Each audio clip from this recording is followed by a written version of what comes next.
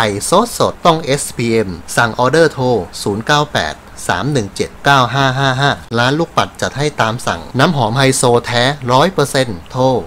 095 185 9456 สวัสดีนะครับ ทุกทุกท่าน อันยองอาเซโยหนีห่างสลามบริกุม Good Morning และ Welcome to the Channel ยินดีต้อนรับเข้าสู่ช่องรายการ MRPD 88หมอริดผ่าดาว YouTube.com โหราศาสตร์ไทยระบบสุริยญาติรายการดูดวงชะตาคำพยากรณ์ต่างๆ เป็นการดูแบบโดยรวมหาภาค เป็นการบอกดีร้ายจากหลักสถิติ เพื่อเป็นแนวทางในการวางแผนการดำเนินชีวิตต่อไป ตามหลักธรรมะ ทานศีลห้าภาวนาอันเป็นมงคล ก่อนรับชมรับฟังคลิปคำพยากรณ์ได้โปรดช่วยกด Subscribe กดติดตามช่อง YouTube และกดกระดิ่ง ท่านจะรับชมคลิปดูดวงชะตาดีๆ ส่งฟรีถึงบ้านทันทีเลยอย่าง Delivery บริการด้านอื่นๆนะครับท่านใดสนใจดูดวงชะตาก็ติดต่ออาจารย์ได้ ดูเลิกษ์ทำการมงคลต่างๆ เลิกออกรถขึ้นบ้านใหม่เปิดร้านแต่งงานผ่าคลอด ดูเปลี่ยนชื่อนามสกุลนะครับดูบ้านเลขที่โอ้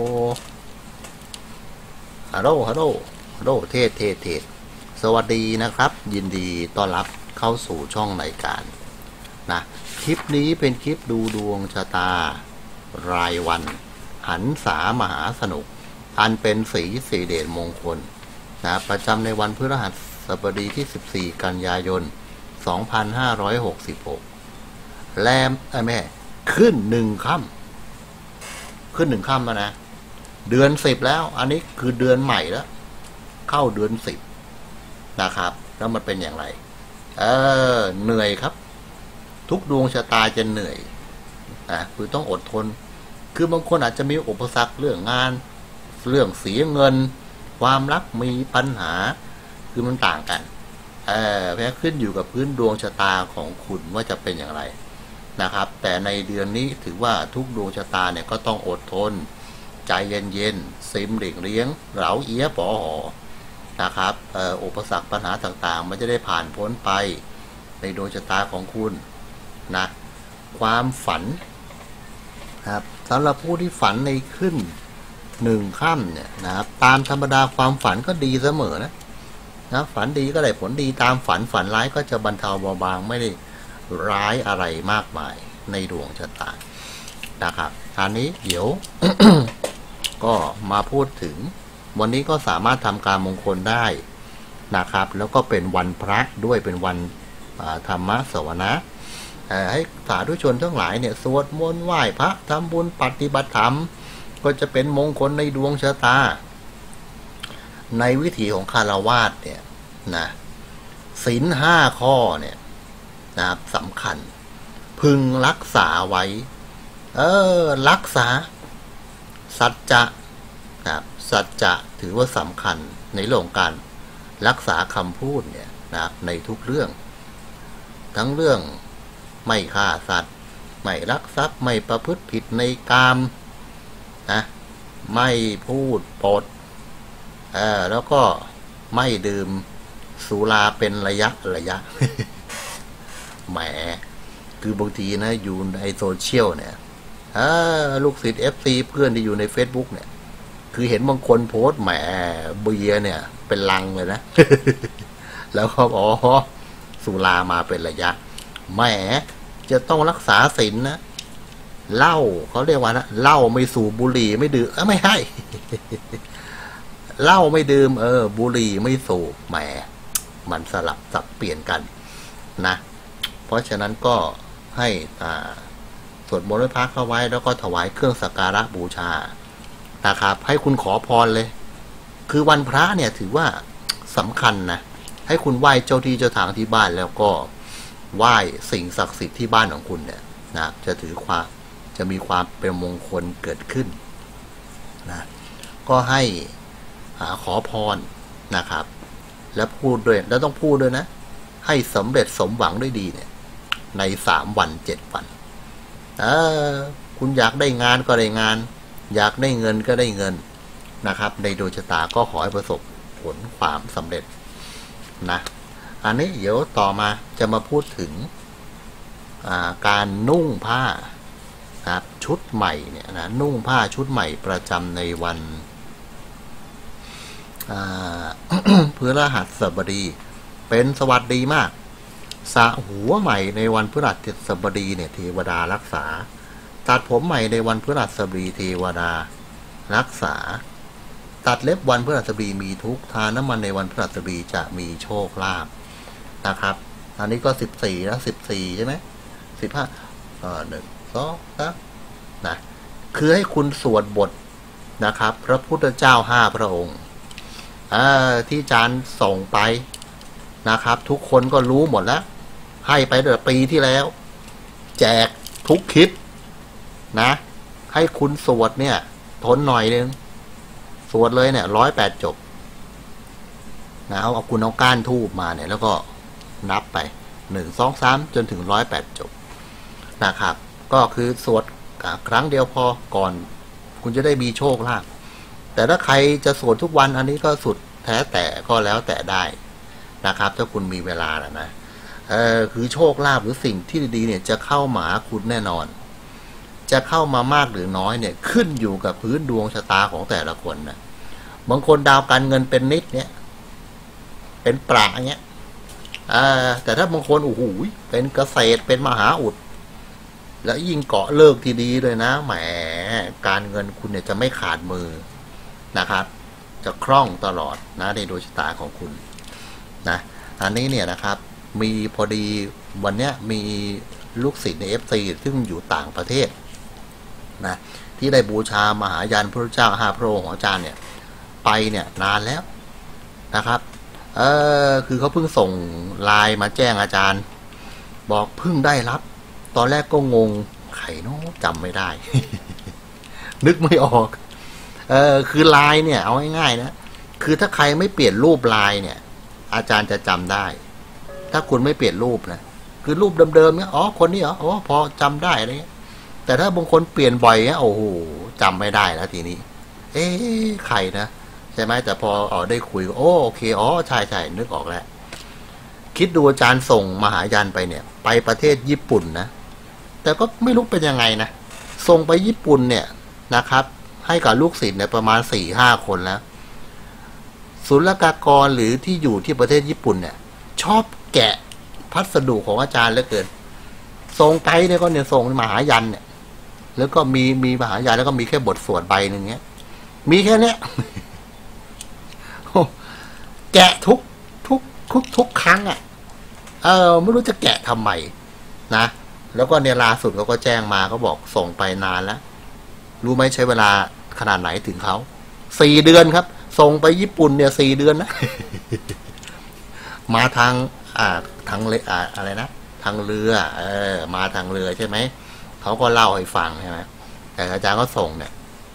ไปให้ลูกชายที่อยู่ประเทศไทยก็ส่งต่อ ไปทางเรือนะกว่าจะถึงก็โอ้โหสี่เดือนคิดดูเดี๋ยวลืมไปแล้วนะเนี่ย เออ แต่ก็แกะอยู่ดี เห็นเขาเล่าให้ฟังนะ ไอ้ของที่หายบ่อยเนี่ย คุณรู้ว่าอะไร ถ้าคุณส่งไปประเทศญี่ปุ่นเนี่ย คุณโดนแกะแน่ ทุกทุกคน โดนแกะแน่ สิ่งที่จะหายบ่อยก็คือ น้ำพริกกะปิครับกะปิหายครับ สงสัยคนญี่ปุ่นชอบกินน้ำพริกกะปินะ เออ แกะทุกกล่องนะ เพราะฉะนั้นถ้าใครจะส่งพัสดุไปประเทศญี่ปุ่นก็ ก็ห่อดีๆนะ เออเขาแกะคุณแน่หอชาญส่งไปห้าคนแกะห้าคน เอาเข้าไป จะหาอะไรก็ไม่รู้ เออ อันนี้ เดี๋ยวต่อมา จะมาพูดถึงอันนี้บอกนะเสียงเซียมซีประจำวันกันอย่างรวดเร็ว ให้คุณตั้งจิตอธิษฐาน นะครับ เดี๋ยวอาจารย์จะสั่นกระดิ่งโชคลาภแห่งความสำเร็จเอาเป็นโปรโตไกด์ฮะสาธุใครเสียงกระดิ่งนี้ขอคุณแค้วคาดปลอดภัยรวยสำเร็จสมหวังนะได้เซียมซีใบที่หกหกสิบเอ็ดนะครับช่วยชะตาท่านในช่วงนี้เนี่ยนะครับ หากคุณทำการใด ๆ จะประสบความสำเร็จลุล่วงราบลื่นด้วยดี นะครับ เออ แล้วดวงชะตาคุณเนี่ยควรรอจังหวะที่เหมาะสมนะ ไม่ควรที่จะรีบเร่งมากจนเกินไป สิ่งที่คาดหวังในช่วงนี้ ก็ต้องอดทนรอคอยสักระยะหนึ่ง ในเรื่องของฟาร์มรัก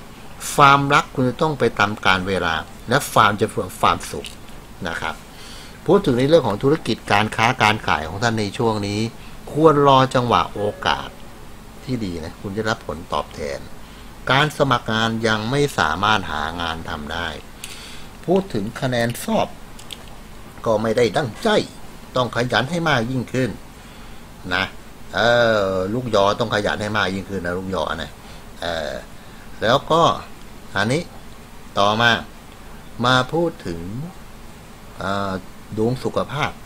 ถามถึงโรคภัยไข้เจ็บที่เป็นอยู่นี้ก็จะหายเป็นปกติ ถ้าคุณไม่ปกตินะ โรคที่พึงระวังเกี่ยวข้องกับกระเพาะลำไส้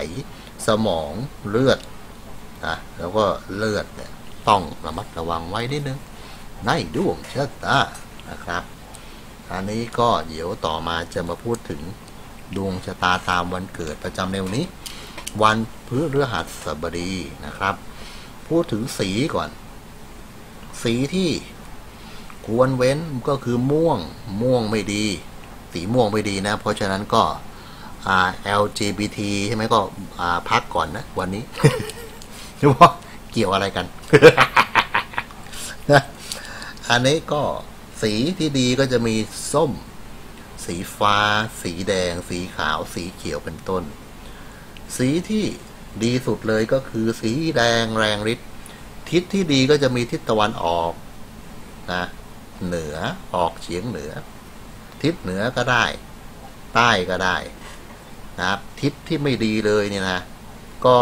ตะวันตกเฉียงใต้อันนี้ไม่ดีในดวงชะตานะครับ มาพูดถึงคนเกิดวันพฤหัสบดี สติปัญญาความรู้ความสามารถเดี๋ยคุณจะดีมาก นู่นนี่นั่น ความคิดความอ่านต่างๆนะครับ เจ้าระเบียบกฎเกณฑ์นะดี ต่อมาคนเกิดพุธกลางคืนเนี่ยมีเกณฑ์การเดินทางนู่นนี่นั่น หรือบางคน อาจจะเจ็บไข้ได้ป่วยไม่สบาย ให้ระวังโรคลมทุกชนิดรวมถึงโรคเวโรคกรรม แล้วก็บางคนก็อาจจะไปเยี่ยมใครที่โรงพยาบาล หรือถ้าไม่อย่างนั้นก็อาจจะไปร่วมงานศพนะเออสองถึงสามครั้งเนี่ย คนเรามันก็ตามสภาพใช่ไหมเออเกิดแก่เจ็บตายเป็นธรรมดานะชีวิตก็ไม่ต้องไปอะไรมากมาย นะครับ กินอิ่มนอนหลับมีความสุขไปทุกวันเออถ้าคุณเดินไปตามข้างทางเดินตามตลาดเนี่ย คุณจะเห็น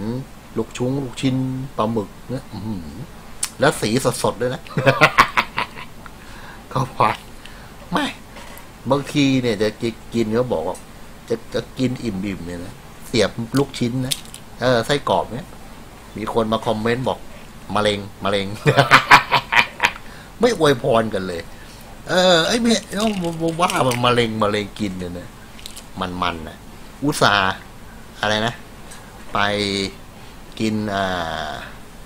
ผลไม้ใช่ไหมเออ ไปกินผลไม้ มาคอมเมนต์อีกบอกฟอร์มาลีนฟอร์มาลีน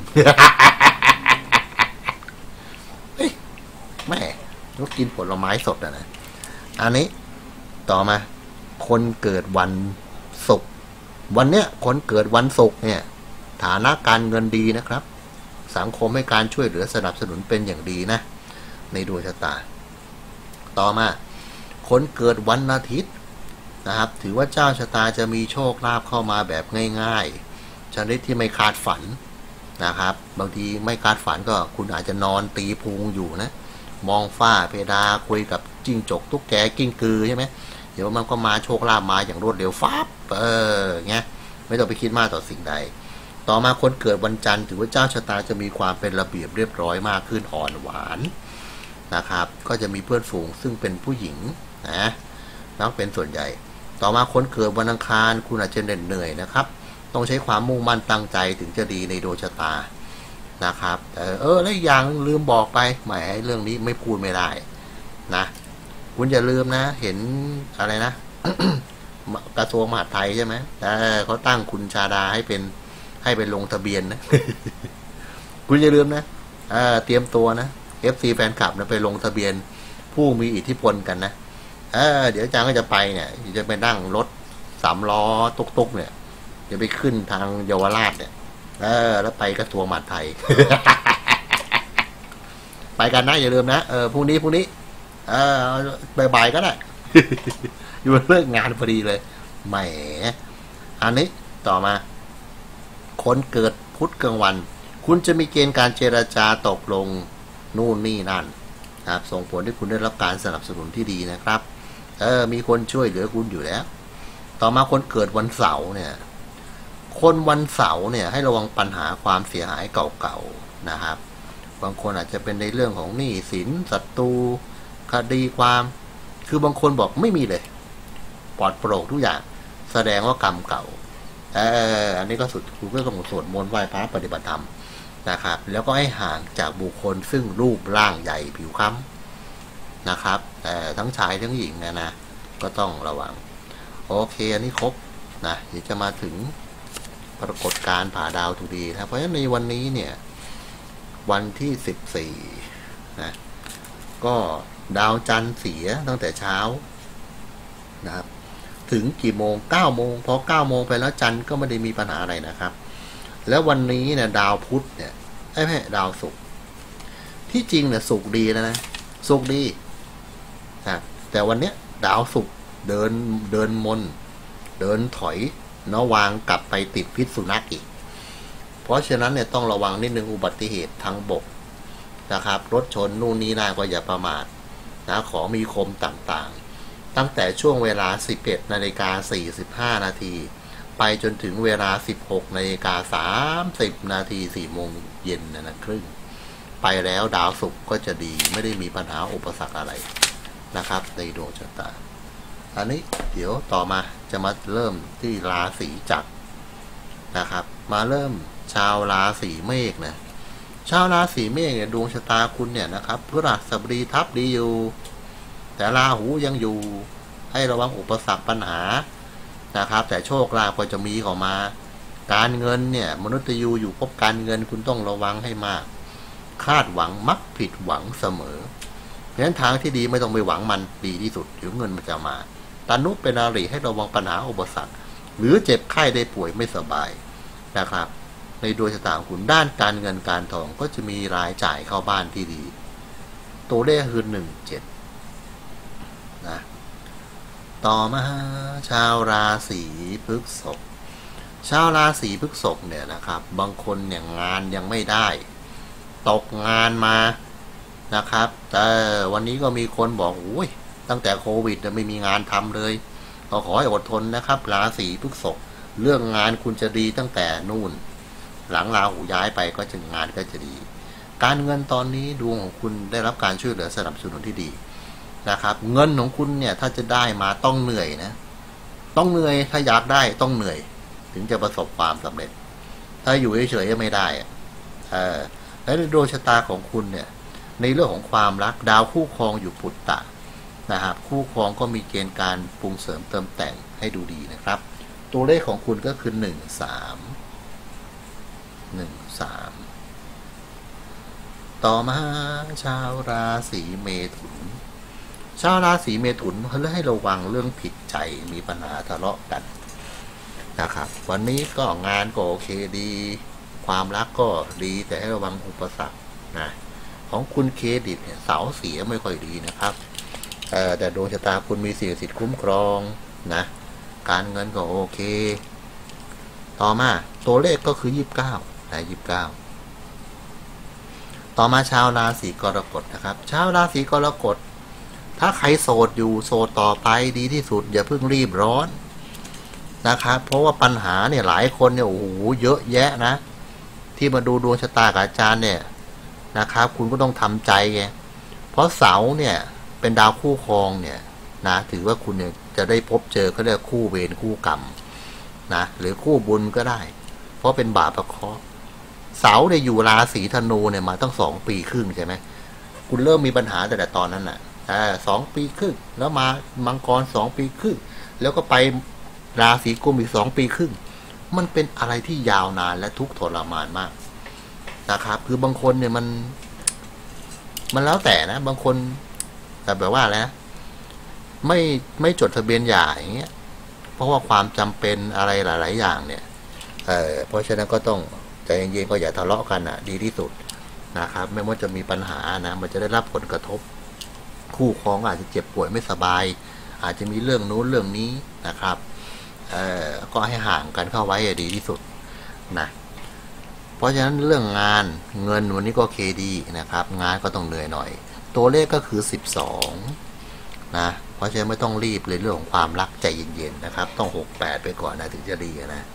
ต่อมาชาวราศีสิงห์ ชาวราศีสิงห์ดวงชะตาคุณเนี่ยก็ถือว่าโอเคนะครับ อาจจะมีการงอนง้อกันบ้างนะ มีเรื่องผิดใจกัน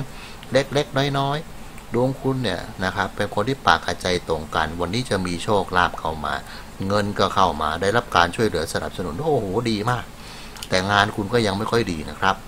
เอ่อให้ระวังเพราะเสาวันนี้เสียนะ ต้องระวังปัญหาเก่าๆ ความรักนะครับคู่ครองก็ให้การช่วยเหลือดีในระดับหนึ่ง ตัวเลขก็คือ 6 แล้วก็เลข1นะครับ ต่อมาชาวลัคนาราศีกันชาวราศีกันเนี่ยถือว่าดวงคุณในเรื่องของงานเนี่ยก็มีเกณฑ์การปรับปรุงแก้ไขซ่อมแซมให้ดีขึ้นนะครับ การเงินก็จะมีเข้ามาอย่างไม่คาดฝันนะครับในเรื่องของความรักก็ไม่ค่อยดีนะระวังปัญหาด้านบริวาร ตัวเลขก็คือ 32 ต่อมาชาวราศีตุล ราศีตุลดวงชะตาคุณเนี่ยจะต้องใช้ทักษะความรู้ความเชี่ยวชาญเฉพาะทางถึงจะดีครูอาจารย์โอเคนะครับดาวงานก็เป็นวินาศเดี๋ยวงานจะเข้ามาคุณอย่างไม่คาดฝันนะในเรื่องของการเงินก็มีเกณฑ์การรายจ่ายอยู่ ตัวเลขของคุณก็คือ 42 นะครับต่อมาชาวลัคนาราศีพิจิก ชาวราศีพิจิกย้ำเสมอ คุณต้องเร่งสร้างบุญสร้างกุศล อย่าอยู่เฉยๆ คุณมีโอกาสพลิกฟื้นชะตาชีวิตกับร้ายกายดีมีโอกาสร่ำรวย ประสบความสำเร็จ ให้ระวังปัญหาด้านสุขภาพนิดหนึ่ง ตัวเลขของคุณก็คือ 71 นะครับ ในดวงชะตา ต่อมาชาวลัคนาราศีธนู ชาวราศีธนูเรื่องงานวันนี้ดีนะครับ มีคนช่วยเหลือสนับสนุนนะแต่ให้ระวังในเรื่องของเพื่อนฝูงสังคมไว้ใจไม่ค่อยได้นะครับ การเงินก็มีทั้งรับทั้งจ่าย ดวงชะตาคุณตัวเลขก็คือ 80 ต่อมาชาวราศีมังกร ชาวลัคนาราศีมังกรเนี่ยถือว่าดวงชะตาคุณเรื่องงาน วันนี้ก็โอเค จะมีสัญญาข้อตกลงเจรจา ระวังเอกสารคำพูดคำจา การเงินก็จะได้เข้ามาจากทางไกลหรือต่างถิ่นต่างแดนนะครับ และดวงชะตาของคุณเนี่ยตัวเลขก็คือเลข 5 แล้วก็เลข1นะต่อมาชาวลัคนาราศีกุม ชาวราศีกุมให้ระวังปัญหาเก่าๆนะครับ คุณอาจจะรอคอยสิ่งใดอยู่ต้องใจเย็น ตัวเลขของคุณวันนี้ก็คือ10นะครับ ก็ขอให้โชคดีนะในดวงชะตา ต่อมาชาวลัคนาราศีมีนชาวราศีมีนถือว่าจังหวะชีวิตของคุณวันนี้ดีนะ จะได้ลาบผลเงินทอง ได้รับการแบ่งสรรปันส่วนธุรกิจผลกำไรเข้ามาที่ดีในดวงชะตา โอ้ยคัน ยุงกัดนะ ตัวเลขก็คือห้าหนึ่งในดวงชะตานะครับ โอเค เดี๋ยว ต่อมาจะมาถึงเสี่ยงไพ่ยิปซีดูให้เพิ่มเติม ว่าดวงชะตาของคุณในวันนี้จะเป็นอย่างไรบ้างนะครับ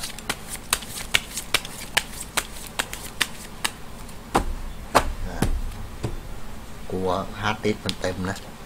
เออ